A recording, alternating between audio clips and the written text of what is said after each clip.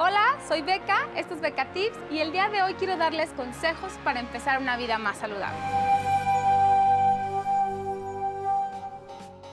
Mi primer consejo sería que limpien su alacena. Saquen de su alacena todas esas cosas que tienen ingredientes que ni siquiera pueden pronunciar, todas esas cosas que no le darías de comer a un bebé, todas esas cosas que tienen tres años o más de caducidad eso es autosabotaje, ¿sabes? Si eres de las personas que no puede comerse un chocolatito, sino que te terminas el bote de chocolates, no te sabotees así. No lo harías con un amigo, no sabotarías a un amigo que está intentando tener un cambio de vida, así que no lo hagas contigo. El punto número dos para tener una vida más saludable es la actividad física. Cualquier intento de tener una actividad es importante. Tienes que mantenerte activo. Lo importante aquí es que hagas una actividad que disfrutes. Si no te gusta hacer pesas, si no te gusta ir al gimnasio, si no te gusta hacer yoga, entonces busca algo que sí disfrutes para que se convierta en un estilo de vida permanente.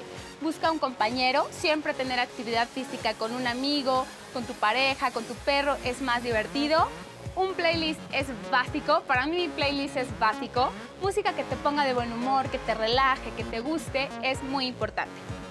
Y en este tema de actividad es muy importante que encuentres tu biorritmo. No todos somos iguales. Necesitas hacer pruebas para saber qué tipo de persona eres. ¿Te gusta entrenar por la mañana o te gusta entrenar por la noche? A mí, por ejemplo, me gusta entrenar en la mañana, pero hay quienes se sienten con más fuerza y con más energía por la tarde o por la noche. Eso depende de ti y te invito a que lo descubras. El punto número 3 o mi consejo número 3 para que tengas una vida más saludable es comer rico. Sí, así como lo oyes, no tienes que dejar de comer. No se trata de comer lechuga y pechuga todos los días. Tienes que comer rico. Comer es un placer y así debe ser. Pero para que puedas comer rico y tener una vida más saludable, es básico que te hagas amigo de la cocina, que le agarres el gusto a cocinar. Vas a comer mucho mejor, te vas a ahorrar muchísimo dinero y muchísimas calorías.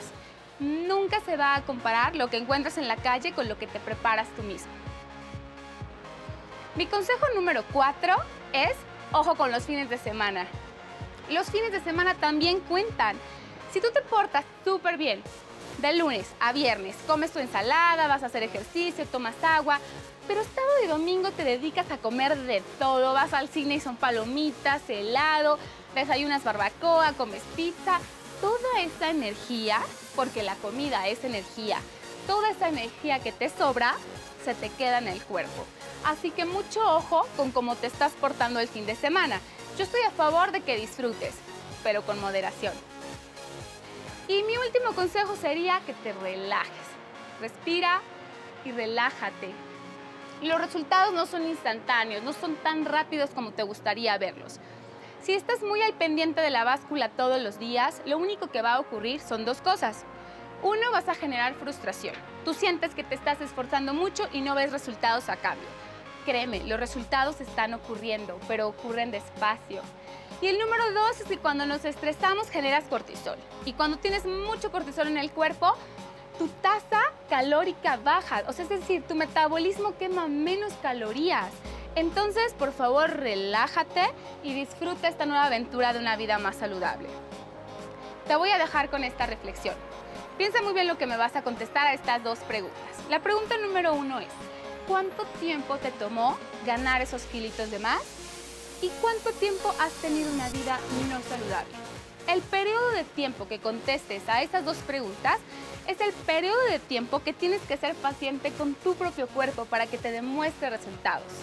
Así que por favor respira y relájate, disfruta el paisaje, a este camino, a esta aventura, a una vida más saludable. Esto fue Beca me encantó estar aquí contigo, me encanta que estés buscando una vida más saludable. Si te gusta, comparte, dale like, inscríbete al canal y por aquí nos vemos la próxima semana.